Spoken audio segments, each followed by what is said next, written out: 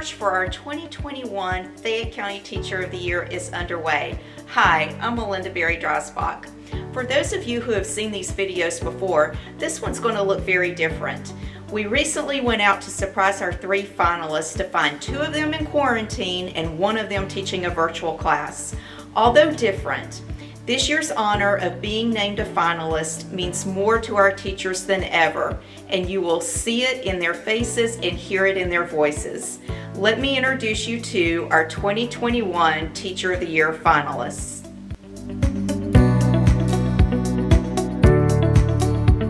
I think it's incredible. I mean, especially being a media specialist, that's such an honor, you know, just to be counted among um, teacher colleagues as somebody who's even eligible, you know, for this honor. It means a lot to me. It's one of our ultimate goals is to be considered a fellow teacher um, and to be, you know, with the title teacher librarian, it, that's the ultimate honor. So I, I really count it as a high regard to be, you know, named in that title as, as teacher of the year and um, means a lot because that is what I want to do is impact the kids and their achievement and um, yeah, huge honor. Sure, um, I, I, believe this is definitely well deserved.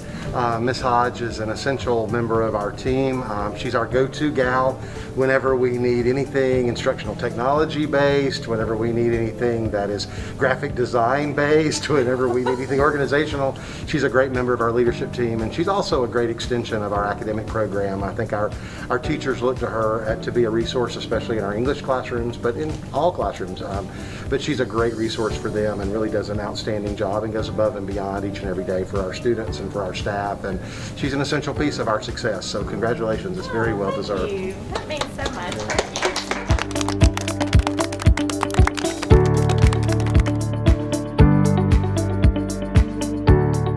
And I'm here to let you know that you are a finalist for Fayette County Teacher of the Year.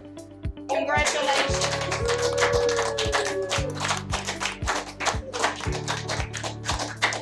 Congratulations, we're so proud of you. Great job. Um, this is such a surprise and a wonderful honor. Um, I love our school. I love our school system. I'm so proud um, that I get to be a part of it. I went to Fayette County Schools my entire uh, school career. Um, when I got my teaching credential, I desperately wanted to be back in Fayette County. But yes, this is such an honor, and I'm just, I'm so surprised because I know the caliber of teachers in our community. So to be named a finalist, you know, it, it's just such a high honor, uh, and I appreciate it so much. So, um, Miss Rabun, as she stated, has been with Fayette all of her um, teaching career, and she certainly is a jewel for us here at Fayette County High School. She um, commits herself to go above and beyond every day, not only for her students, but also for her teachers, as well as her administrative team. She has been an amazing support for us all here, not only just um, in day-to-day -day things, but also just personally.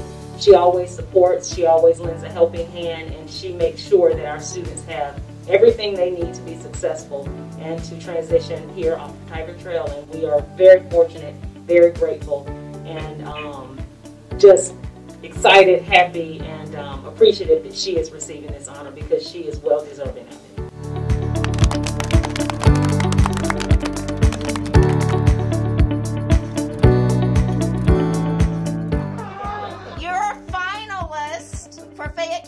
Teacher of the Year. Congratulations. Thank you so much. I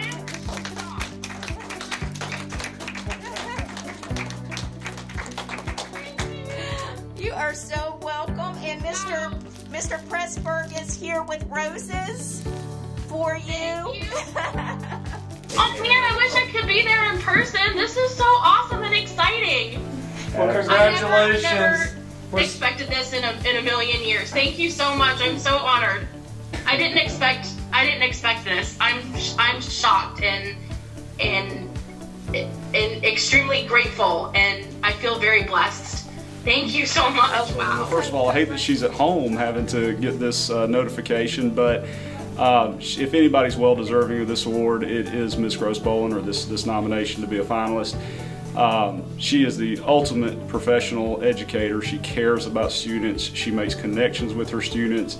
They love her in return, and it's just a it is a great uh, bond bonding uh, relationship that she has with those kids in the classroom. And I think, uh, you know, if you ask anybody who's going to be the most humble about any kind of recognition, it would be Miss Jennifer Grossbohlin because she knows what she's here for. Um, she's not here for herself. She's here to serve others and she's here to serve children, and that's what she does best. So we are just so extremely blessed to have her as part of our staff and uh, working with our children.